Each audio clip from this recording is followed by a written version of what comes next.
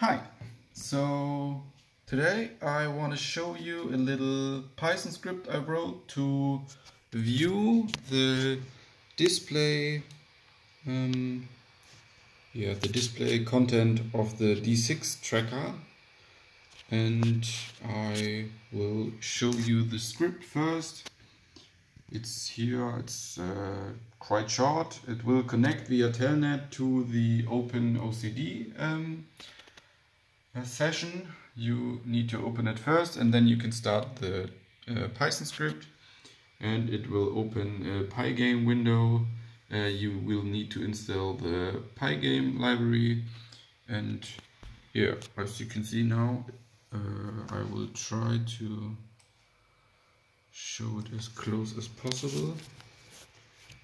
Um, you can see now already the time will be written to the display, but the display is just not on.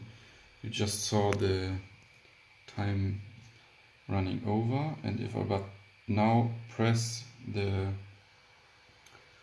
um, touch button of the tracker, you can see it will turn on and also will show the image on the computer.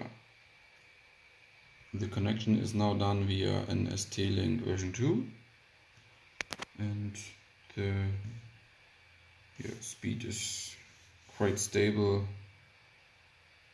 And yeah that's just all for now. Even if I turn the tracker off via this menu you can see it will set the bye message. And after that it will already put the new time in it. And even now if the time is running over it should display it. So maybe we can see it or maybe not. Uh, I don't know. I will turn it on again. And you will also see the welcome message on the computer. Okay, I will put the Python script in the description box so you can play around with it. And I will also show the OpenOCD command you need. And yeah, it's just funny little experiment. It will log the uh, memory content of the display buffer from the D6 tracker and we'll show it there.